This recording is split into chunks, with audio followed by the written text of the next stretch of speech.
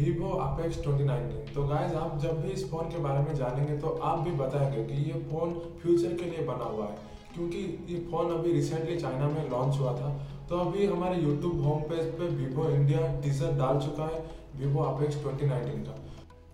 तो गाइस अभी कुछ ही टाइम से वीवो बहुत ही अच्छा काम कर रहा है, क्योंकि प्रीवियस ईयर हमें वीवो अपेक्स देखने के लिए मिला था और वहाँ पे हमें इन डिस्प्ले फिंगरप्रिंट सेंसर मिल जा रहा था और एक पॉपअप कैमरा भी मिल जा रहा था।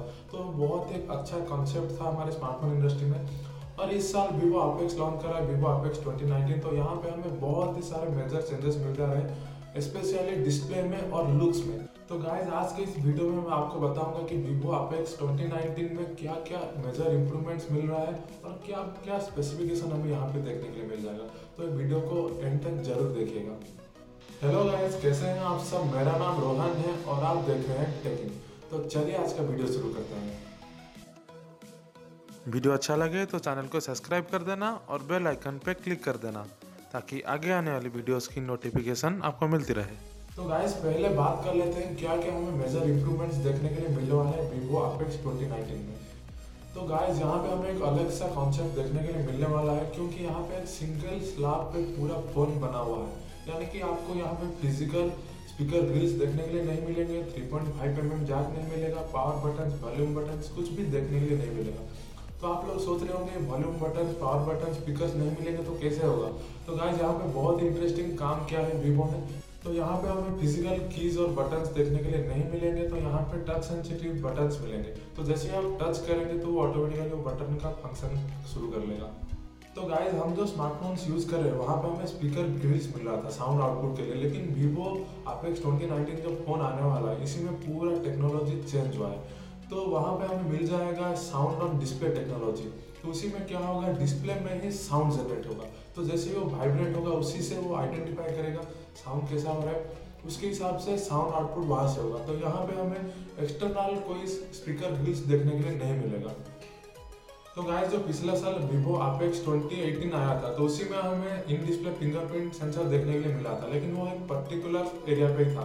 तो हम जब उसी एरिया को प्रेस कर रहे थे तो फिंगरप्रिंट से अनलॉक हो जा रहा था। लेकिन यहाँ Vivo Apex 2019 में पूरा अलग सा कॉन्सेप्ट आया है। तो आप डिस्प्ले में कहाँ भी प्रेस करेंगे तो आपका फिंगरप्रिंट रिकॉग्नाइज कर लेगा और आपका डिस्प्ले अनलॉक हो जाएगा। तो बहुत ही अच्छा कॉन्सेप्ट लेके आ गया है वीवो क्योंकि उसी टाइम में प्रॉब्लम हो रहा था कि आप पर्टिकुलर एक एरिया को प्रेस करना पड़ रहा था। लेकिन अभी आप डिस्प्ले में जहाँ में भी प्रेस करेंगे तो आपका डिस्प्ले अनलॉक हो जाएगा। तो गाइज़ यहाँ पे जो प्रोसेसर मिलने वाला है, वो है क्वालकॉम का लेटेस्ट स्नैपड्रैगन 855 का। तो ये चिपसेट है 5G एनेबल्ड चिपसेट है। तो खुशी की बात ये है कि हमें वीवो अपेक्स 2019 में 5G टेक्नोलॉजी भी मिलने वाला है। तो गाय बहुत ही टाइम से हम लोग वेट कर रहे थे कि कौन सा फ़ोन 5G लेके पहले आएगा। तो लगता है वीवो 5G लेके पहले आने वाला है। तो देखते हैं, जब भी इंडिया में लॉन्च हुआ तो आपको ज़रूर बता दूँगा मैं। तो अगर आप जानना चाहते हैं कि 5G टेक्नोलॉजी कैसे काम करता है तो मैं उसके लिए एक डेडिकेटेड वीडियो बनाया था। तो आई कार्ड में दे दूँगा तो वहीं से जाके आप देख सकते हैं।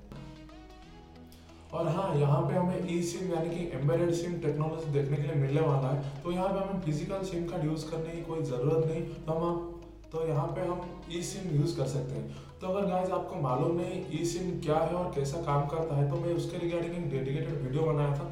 तो उसका लिंक मैं आई बटन में दे दूँगा तो वहाँ पे जाके आप चेक कर सकते हैं। तो हम बात करते हैं बैटरी के बारे में। तो यहाँ पे हमें 3900 मिली एम्पेयर का एक बैटरी देखने के लिए मिलने वाला है। लेकिन ये कंफर्मेशन नहीं आया है वीवो की तरफ़ से कि यहाँ यहाँ पे हमें वायरलेस चार्जिंग टेक्नोलॉजी मिलने वाला है कि नहीं। लेकिन यहाँ पे रूमर्स ऐसा आ रहे हैं कि यहाँ पे मैग्नेटिक पिन की तरह मिलेगा। तो जैसे ही वहाँ पे कनेक्ट होगा मैग्नेटिक पिन तो ये चार्ज होना शुरू हो जाएगा। तो देखते हैं जब भी कंफर्मेशन आएँगे तो मैं आपको ज़रूर बता दूँगा। और यहाँ पे हमें बारह जी का राम मिलने वाला है, यानी कि शायद ये पहला फ़ोन होगा जहाँ पे हमें बारह जी का राम मिलेगा, क्योंकि कुछ ही दिन पहले लिनोवो जी फाइव प्रो आने वाला था, बारह जी राम के साथ, लेकिन वो आया नहीं था। तो अगर ये फ़ोन लॉन्च हो जाता है बारह जी में तो यहाँ पे सबसे पहला फ़ोन होने वाला है बारह जी राम के साथ। तो गाइज़ ये टॉप वेरिएंट होने वाला है जो बारह जी राम का तो बेस्ट वेरिएंट शायद छः जी या आठ जी के साथ आने वाला है। और यहाँ पे हमें 512 जीबी तक का इंटरनल स्टोरेज देखने के लिए मिल जाएगा। तो इसका डिस्प्ले 6.29 इंच होने वाला है, लेकिन अभी कंफर्मेशन आया नहीं है कि ये फुल एचडी प्लस होने वाला है। या अमोलेड डिस्प्ले या कुछ भी कंफर्मेशन आया नहीं है तो जब भी कंफर्मेशन आएगा, मैं उसके बारे में आपको ज़रूर बता दूँगा।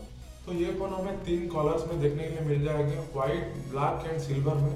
तो इसका प्राइस अभी तो आया नहीं है तो जब भी प्राइस आएगा मैं बता दूँगा लेकिन रूमर्स ऐसे आ रहे हैं कि इसका प्राइस 42 से 48,000 के अंदर होने वाला है।